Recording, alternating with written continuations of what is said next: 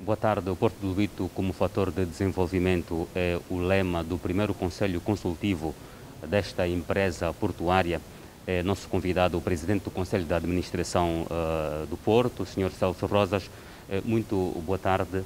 É, há muito que se tem consciência do, da importância do Porto do Lubito para o desenvolvimento da economia, mas numa altura de abrandamento devido à Covid, que desafios é que o Porto do Lubito eh, tem para poder chegar a atingir a, as metas que se propõe?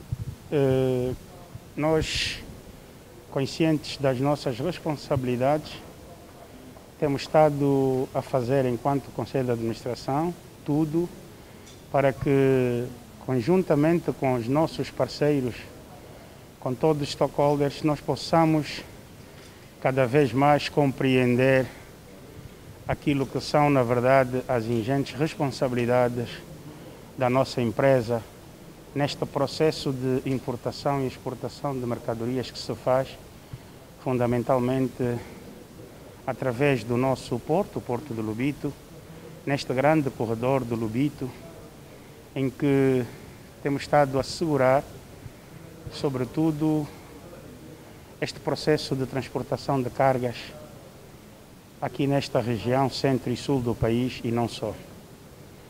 Nós queremos ter, na verdade, um porto cada vez mais funcional, cada vez mais organizado e cada vez mais à altura dos seus desafios. No passado recente, o PCA disse publicamente que eh, mais de 50% dos meios operacionais estavam avariados. Eh, gostava de eh, perguntar se é que houve um processo de recuperação, sendo certo que são fundamentais para os objetivos que vocês pretendem alcançar? A recuperação de meios e equipamentos inoperacionais é um processo, felizmente já começou, está em curso, mas como é óbvio, tem o seu tempo. E nós temos é, plena certeza, temos otimismo e acreditamos que nos próximos tempos será possível recuperar muitos desses equipamentos para melhorarmos e reforçarmos as nossas capacidades. Como é que avalia a atual capacidade?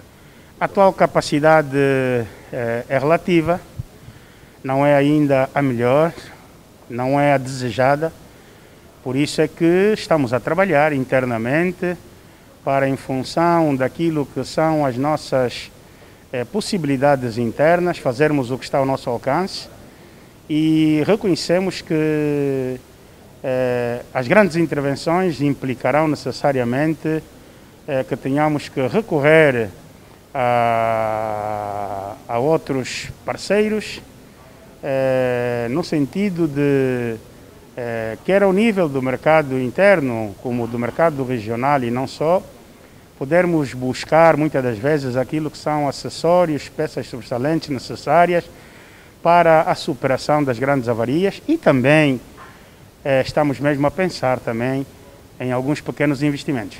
Já de, para terminar de minha parte, eh, como é que está o processo de, da concessão das diversas plataformas que o Porto Lubito tem? O processo de concessão é um processo que está orientado superiormente.